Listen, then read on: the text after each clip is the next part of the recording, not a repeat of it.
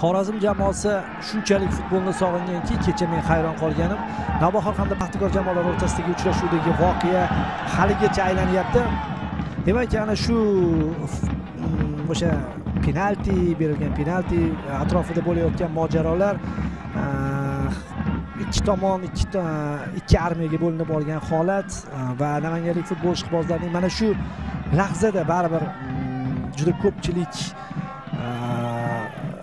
aynan mana shu xususda ommaviy axborot vositalarida ular xohlayotgan e, misol uchun qarorni aytmayotgan bir paytda xorazm jamoasi muxlislari navbahorni olqishlagani meni hayron qoldirdi. Qoyil ham qoldim ya'ni xorazm qayerdayu namangan qayerda?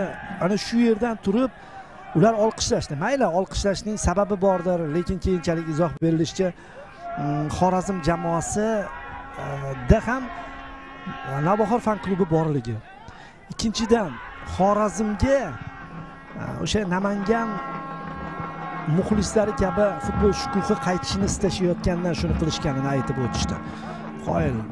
Mana shunaqa narsalar odamni quvontiradi. Mayli penalti qarori o'z yo'liga kim qanday fikrda va ana shu fikrda qolsa ham menga uncha farqi yo'q.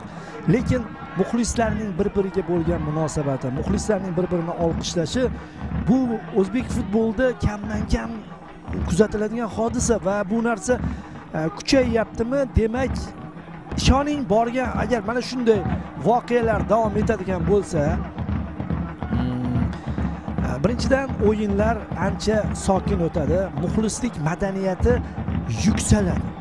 Men shuni tarafdori bo'lib kelganman. Hamisha muxlislik qilish kerak fanatlik qilish kerak. Endi chegara hamma narsani chegarasi borku lekin o'sha madaniyatni oshirgan holda va o'ylaymanki yaqin orada o'zbek futbolida mana shunday chiroyli holatlar guvohiga ko'p ko'p guvoh bo'lamiz. Xorazmlik futbol ishqibozlariga mana shu muhim pallada bir viloyatning e, katta armiyasiga e, endi aytish mumkinki navbahor muxlislari boshqalarga qaraganda son jihatdan eng ko'p bo'lsa kerak. Qo'rqmasdan aytaman stadion stadionga kelgan muxlislar buni aytib turadi.